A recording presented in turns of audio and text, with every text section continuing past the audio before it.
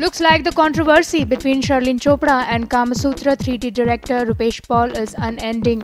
Rupesh has recently sent a legal notice of rupees 5 crore against the actress for defaming him and his movie Kamasutra 3D publicly by using abusive language on social networking site Twitter. Recently, Sherlyn publicly declared that she has quit the film and since then she was abusing Rupesh Paul over Twitter. Let's wait and watch how the Playboy cover girl will now deal with this legal trouble.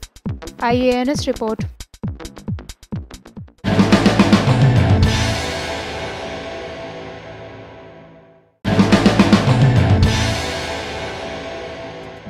Looks like the controversy between Sherlyn Chopra and Kamasutra 3D director Rupesh Paul is unending. Rupesh has recently sent a legal notice of rupees 5 crore against the actress for defaming him and his movie Kamasutra 3D publicly by using abusive language on social networking site Twitter. Recently, Sherlyn publicly declared that she has quit the film and since then she was abused. Let's wait and watch how the Playboy cover girl will now deal with this legal trouble. IANS report.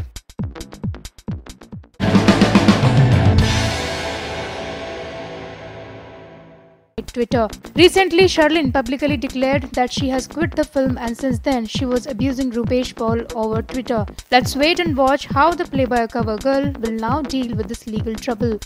IANS report.